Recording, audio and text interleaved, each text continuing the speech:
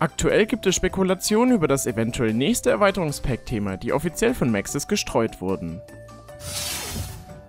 Vor ein paar Wochen gab es das große Redesign, bei der auch ein neues Render mit neuen Sims ins Spiel gebracht wurden. Diese hat Maxis in der Galerie hochgeladen und haben sich für jeden einzelnen Sim eine kleine Geschichte ausgedacht.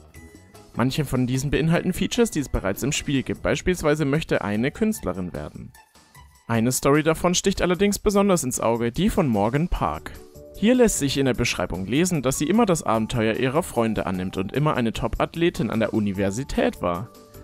Auch wird weiter unten erwähnt, dass sie für einen Wettkampf trainiert, bei dem sie viel Zeit im Pool und auf dem Fahrrad verbringt.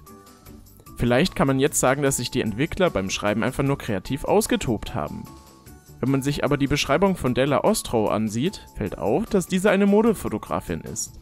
Dieses Feature gibt es aktuell nicht im Spiel, wird aber mit dem kommenden Moschino Accessoire Pack hinzugefügt werden. Hier haben sich die Entwickler also Gedanken über die Möglichkeiten im Spiel gemacht, wovon man aktuell vielleicht darauf schließen kann, dass die Entwickler derzeit auch an Universität oder Fahrrädern arbeiten.